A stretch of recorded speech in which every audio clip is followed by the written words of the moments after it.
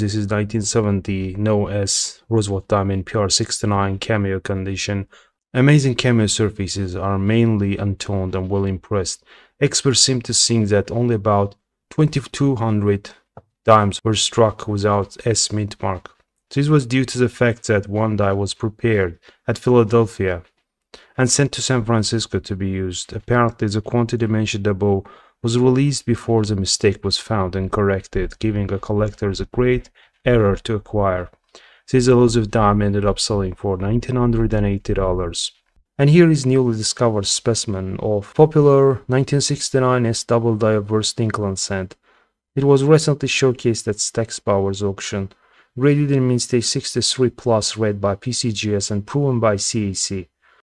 Doubling on all obverse letterings are included, except the mint mark. Exciting as a newly discovered example of this rare variety, this is an important choice full red cent. It is attractive with bright, even pinkish rose mint color on both sides. There are few blemishes of any kind and most are so small as to be easily overlooked by the unaided eye. The 1969 S doubled die obverse is an extremely desirable variety, having an estimated population of just 40 to 50 pieces based on combined certification service statistics. This elusive specimen was sold for $72,000. 1941 Washington Quarter in PR68 Plus condition. Bright silver gray interiors border amazing peripheral shades of peach orange, magenta, violet, and forest green hues on both sides. The underlying surfaces of this superb gem proof are unmarked and fully struck up. Destined for the finest collection of the proof Washington quarters, it was sold for $3,720 on August 18, 2023. Here is 1951 S Jefferson nickel in MS67 condition with full steps. According to Jaime Hernandez from PCGS, the 1951 S Jefferson nickel has one of lower mintage for circulation strike series. The 1951 S appears to be scarce in MS66 grade and higher. Less than 500 examples have been confirmed by PCGS in MS66 condition, with less than a handful known in MS67.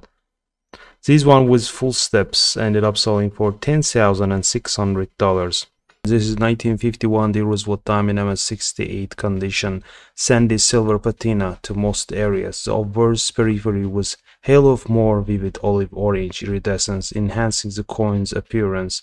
There is not even a single noticeable abrasion, as one should demand at uppermost reach of the mint state grading scale.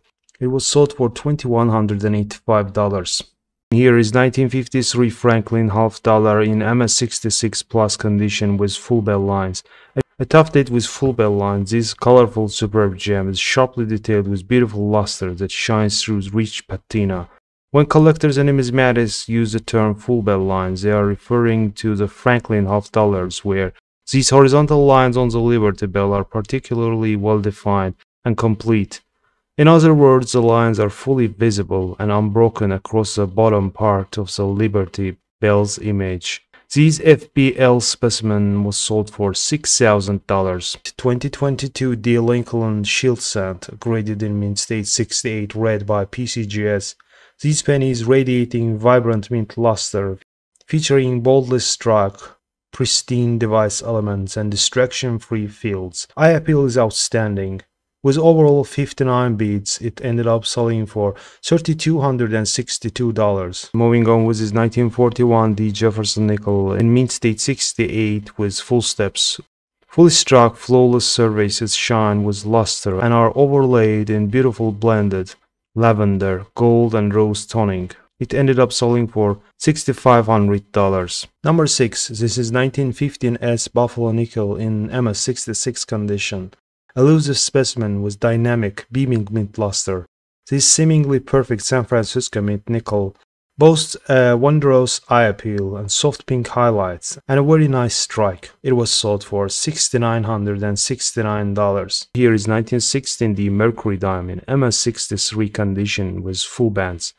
The key to the Mercury Dime business strike set and one of the most popular of all US 20th century coins a stunning select example, brightly lustrous surfaces featured dappled russet, blue-green, and golden tones. Well detailed with great eye appeal for the great. It was sold for $22,000. This is 1939 Lincoln Center in PR67 Plus red condition. Extraordinary bright orange surfaces are uniformly mirrored and finished with virtually pristine appearance. Upper end gem standing for a survivor of these 13,520 pieces proof issue. It was sold for $3,055. Year is 1971 as proof Eisenhower dollar with Type 1 reverse graded as PR68 dip cameo by PCGS. This coin is an original gem housed in original package from the mint is accompanied by a special box boasting rolling watery mirrors and sickly frosted devices. Hazy sky blue patina appears on surfaces attesting to the originality of this first year of Eisenhower dollar series.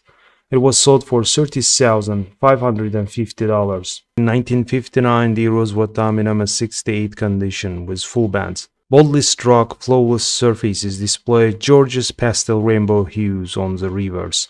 Tied for the finest, this elusive dime was sold for $5,000. This is 1999 D Roosevelt dime in MS69 condition with full bands.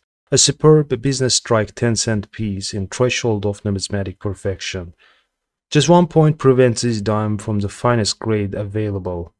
That is MS70. Strike is tack sharp and both horizontal bands on the torch are delineated. It was sold for $1,800 on August 20, 2023. 1919 Walking Liberty half dollar in MS64 condition, CAC proven, early Walker. scarce date with pretty luster, and attractive rim toning.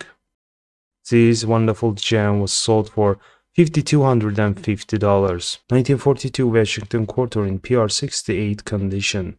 This is an exceptional example of the proof 1942 Washington Quarter, both sides with crescents of intense, multicolored iridescent patina around the peripheries, otherwise lightly toned in pale silver. The surfaces are uniformly mirrored in finish with a virtually pristine appearance. Impressive condition rarity from a mintage of 21,123 coins. This example was sold for $4,800. This is 1931 S Lincoln Cent in MS65 plus red condition.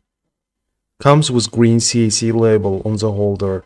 CAC is a third-party coin authentication and grading service that evaluates coins previously certified by other reputable grading services like NGC or PCGS.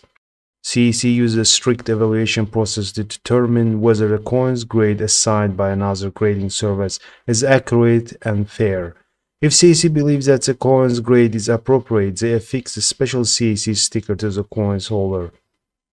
This sticker indicates that the coin has passed their additional scrutiny and meets their standards of quality within its assigned grade.